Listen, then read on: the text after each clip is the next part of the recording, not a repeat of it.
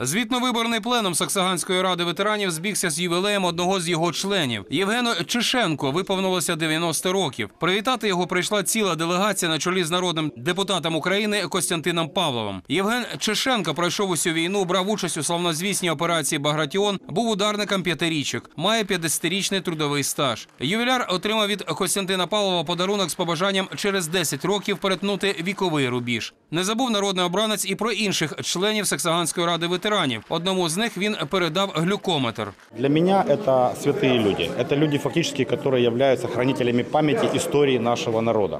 Это те люди, которые вкладывают изо дня в день свою душу в воспитание подрастающего поколения. И от того, насколько будут сильны коммуникации между ветеранами и детьми, которые сейчас подрастают, будет зависеть уровень нашего патриотизма, уровень любви к родному городу, уровень любви к родной стране. Один з представників білоруської делегації вручив Євгену Чешенку медаль «70 років визволення Білорусі і виголосив слова подяки від білоруського народу. Микола Дабіша передав від міської ради ветеранів ювіляру годинник і зачитав лист подяку на ім'я президента Білорусі. Відзначили ветерана і на районному рівні. На пленумі заслухали звіт про чотирирічну діяльність Саксаганської ветеранської організації.